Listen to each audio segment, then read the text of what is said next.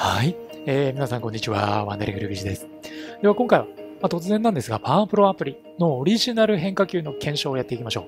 う。で、具体的に何やるのっていうところなんですけど、変化量、球速、防御率を検証していって、えー、スタジアムでね、本当に使える変化球は何なのかというのを確認していきたいと思います。というのもですね、まあ、美課金、無課金勢にとってスタジアムで上位リーグに昇格残留するのはすごく重要になってくるんですよね。というのも、まあ、最高位リーグの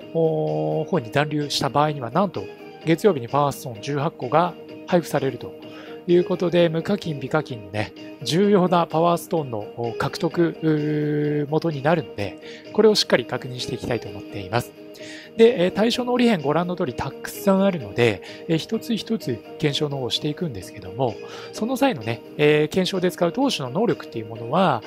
統一しておかないと公平性が保てない現象になってしまうので、ご覧の通り、球速は155、コントロール、スタミナは102。えー、変化量はね、えー、マックスにしておいて、特殊能力もご覧のものにして検証を行っていこうというふうに、えー、思っていますで。続いて検証の方法なんですけども、まず一つ目、球速測定はね、そのまま球速の測定を行っていきます。まあ、どれだけ速い変化球が投げられるのかという検証ですね。早ければ早いほど、まあ、捉えられにくいということになるので、まあ、重要なファクターになると思っています。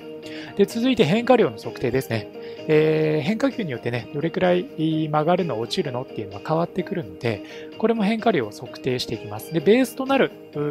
スライダーとかカーブとかね、えー、それらとの比較で確認をしていきたいというふうに思っています。で、最後に防御率なんですけども、こちらは、えー、まあ、アプリやっていないミカミックスのね、えチームをお借りして10試合練習試合を行って、後半時点での1得点を自責点という形で、え防御率を計算していきたいと思っています。まあ、実際の防御率の計算と少し、えここは異なる点にはなるんですけども、えまあ、こういった計算で、え防御率をね、計算していきたいと思います。降板した時の自責点を、あ1得点を自責点として防御率の計算を行います。まあ、防御率の計算自体はちゃんと防御率の計算式にのっとって計算を行っていきます。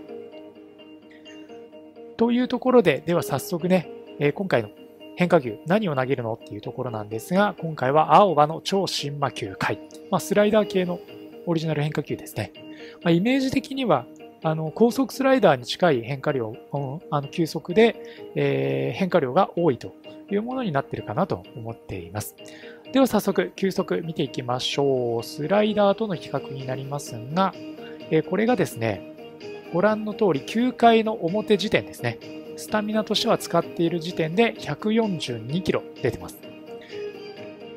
スライダー134キロに対して、超新魔球回は142キロ出ているという、えー、折り辺になっていますね。続いて変化量を見ていきます。で、変化量はご覧のようにスライダーとちょっと重ねているので、着地地点っていうのかな、あのー、キャッチャーミットに収まる時点のところでちょっと時間を止めてますけども、まあ、およそボール半個分、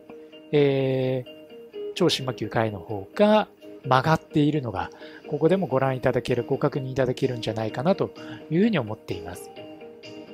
で最後に防御率ですね。えここはもう10試合、え練習試合をぐるぐる、え回していきます。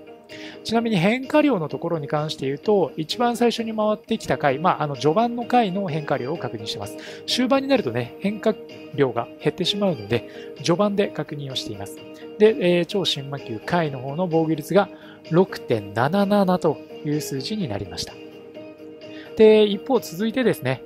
ベースの変化球になっているスライダー、これも10試合回していきます。で、この結果がですね、6.85と、まあ、やや、あ折り辺の方が低い数字かなと思うんですが、まあ、実はね、10試合というサンプリング数が少し少ないので、えー、大量失点あるいは完封とかで、えー、数字自体はね、えー、少し変わってくるかなと思うんですが、ご覧のように少なくても検証の結果では、あベースのスライダーよりも折り辺の方が防御率が低かったという結果になります。ではまとめです。えー、超島球回の方なんですが、球速142キロ、変化量はスライダーに比べて大きい。えー、防御率もね、えー、6.77という数字になりました。まあ、こんな感じで、えー、折り辺のこの後も検証していきたいと思いますので、えー、楽しみにしていてください。はい、えー、ご視聴ありがとうございました。この動画が面白いと思った方はチャンネルの登録をお願いいたします。動画の視聴画面の下の方からチャンネル登録することができますので、ぜひよろしくお願いいたします。また、動画の解説欄に Twitter のリンクも貼ってありますので、ぜひ Twitter のフォローもよろしくお願いいたします。